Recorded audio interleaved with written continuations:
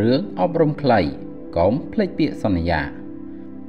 នៅយប់ដ៏ត្រជាក់មួយ មានមហាសេដ្ឋីម្នាក់បានជួបនឹងបរិសចំណាស់ដ៏ក្រីក្រនៅខាងក្រៅ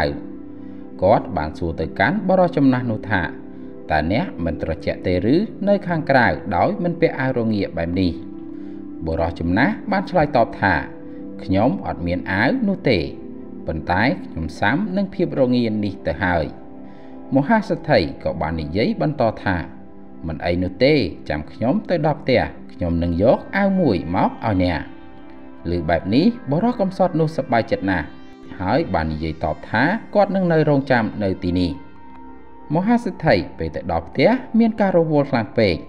រហូតបានភ្លេចនៅពាក្យសន្យាជាមួយនឹងបរិសកំសត់នោះបាត់ទៅលុះព្រឹកឡើងគាត់បាននឹកឃើញដល់បរិសកំសត់នោះវិញ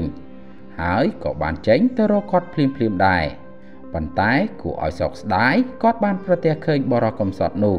បានស្លាប់បាត់បង់ជីវិតដោយសារភាពត្រជាក់បាត់ទៅហើយតែមុននឹងស្លាប់បរិសចំណាស់ដ៏កំសត់រូបនោះបានបន្សល់ទុកនៅសម្បត្តិមួយច្បាប់ដោយបានសរសេរថា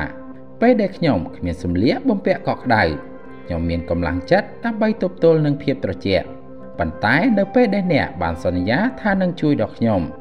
ខ្ញុំបានប្រកាន់ភ្ជាប់នៅពាក្យសន្យារបស់អ្នក ហើយពាក្យសន្យានេះហើយវាបានសម្លាប់នៅធម្មពលផ្លូវចិត្តរបស់ខ្ញុំបាត់ទៅហើយដូច្នេះគំនិតអប់រំក្នុងរឿង